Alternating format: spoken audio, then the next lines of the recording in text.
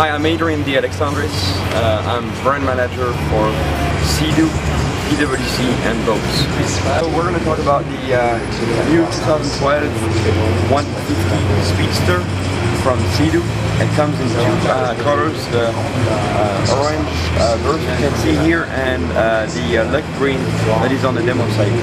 For 2012 we've completely redesigned the uh, 150 Speedster starting with uh, the gauges, the whole cockpit, we can see a, a muscle crafted inspiration from uh, from our PWCs.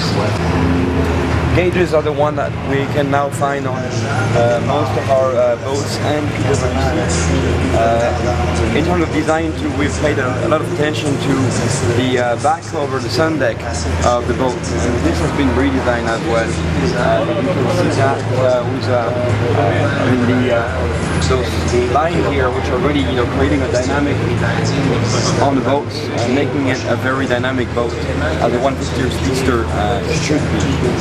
Uh, new also for 2012 on the 150 Speedster is the uh, ITC, uh, which uh, is exactly our electronic throttle control.